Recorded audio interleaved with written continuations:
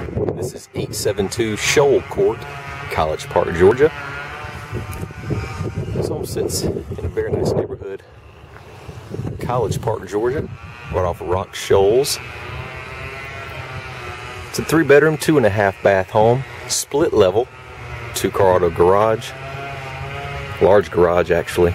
We got hardwood floors and some tile floors in this home. Let's go inside, take a look. Hardwood floors in a recently renovated home, new paint and some new flooring all throughout. It's very clean. Vaulted ceilings in the family room. It's a split level home, so you can go upstairs or down certain parts of the home. Let's go upstairs first. There's three bedrooms, two and a half bath in this home. All three bedrooms are upstairs. The first door on the right is a full bathroom upstairs. Tile floors in the bathroom. First door on the left in the hallway is bedroom number one, plush carpet. Bedroom number two is at the end of the hallway on the left. New paint and plush carpet in here as well.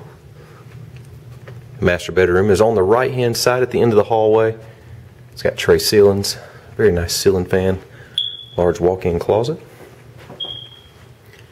The master bath is awesome. Tile floors, double vanity, large garden tub, separate shower, big open floor plan in the bathroom. And this is the master bath, the master suite.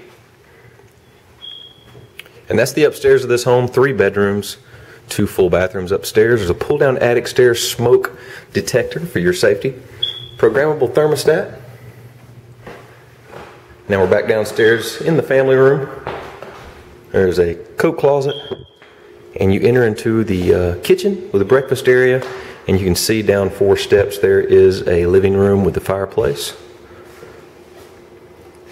The kitchen has plenty of cabinet and countertop space, refrigerator, range oven, dishwashers, all here ready to be used.